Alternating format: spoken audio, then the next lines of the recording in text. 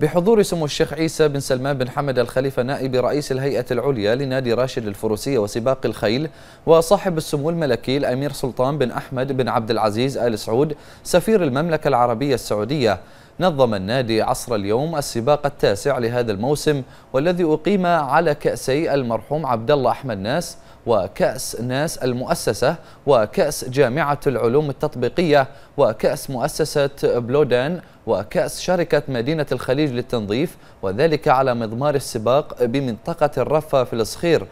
كما حضر السباق سمو الشيخ سلطان الدين بن محمد بن سلمان الخليفة وسمو الشيخ هاشم بن محمد بن سلمان الخليفة وسمو الشيخ خالد بن علي بن عيسى الخليفة وسمو الشيخ عيسى بن عبد الله بن عيسى الخليفة رئيس الاتحاد الملكي للفروسية وسباقات القدرة وسمو الشيخ نادر بن محمد بن سلمان الخليفة وسمو الشيخ نوح بن محمد بن سلمان الخليفة وسمو الشيخ عبد الله بن راشد بن عيسى الخليفة وسمو الشيخ محمد بن عبد الله بن عيسى الخليفة وممثلو الجهات الراعية للسباق وجمهور من محبي رياضة سباق الخيل.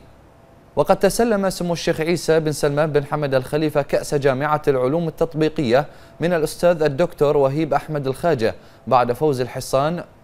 رتورت الذي تعود ملكيته لإسطابل فيكتوريوس كما تم تتويج الفائزين بكؤوس السباق حيث قام السيد سمير عبد الله ناس رئيس مجلس إدارة شركة ناس المؤسسة وناس المجموعة بتقديم كأس الشوط الثامن إلى سمو الشيخ سلطان الدين بن محمد الخليفة. كما قدم السيد عبد الله فوزي ناس والسيد هشام الحداد مدير العمليات بشركة مدينة الخليج للتنظيف كأس الشركة للشوط الثاني إلى المضمر الفائز جيمس نيلور